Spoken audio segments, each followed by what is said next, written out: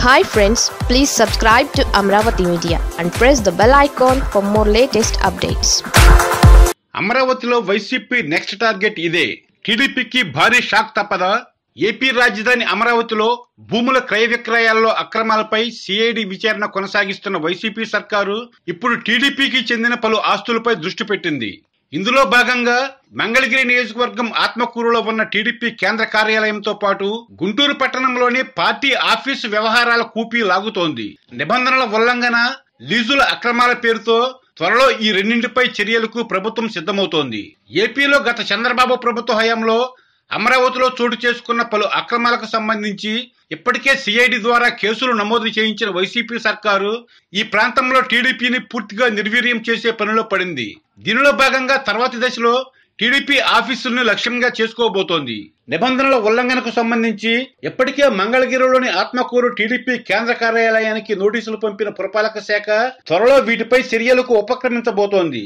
అలాగే గుంటూరులోని టీడీపీ నగర కార్యాలయం లీజు విషయంలో అక్రమాలను బయటపెట్టబోతోంది. రెండు వేల పదిహేనులో అమరావతిని రాజధానిగా ప్రకటించాక అప్పటి చంద్రబాబు ప్రభుత్వం అధికార టీడీపీకి మూడున్నర ఎకరాలు విపక్షాలకు అర ఎకరం చొప్పున రాజధానిలో పార్టీ కార్యాలయాల కోసం భూములను కేటాయించింది.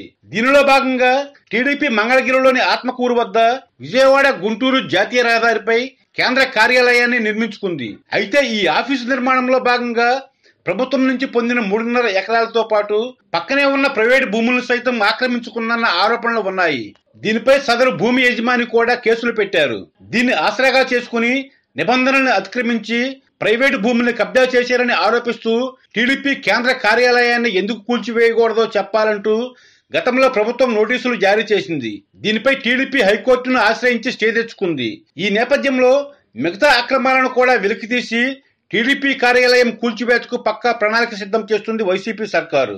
గుంటూరు పట్టణంలోని పిచ్చుకొలగుంటలో రెండు దశాబ్దాల క్రితం ప్రభుత్వ స్థలాన్ని లీజుకు తీసుకుని టీడీపీ పట్టణ కార్యాలయాన్ని ఏర్పాటు చేసుకుంది.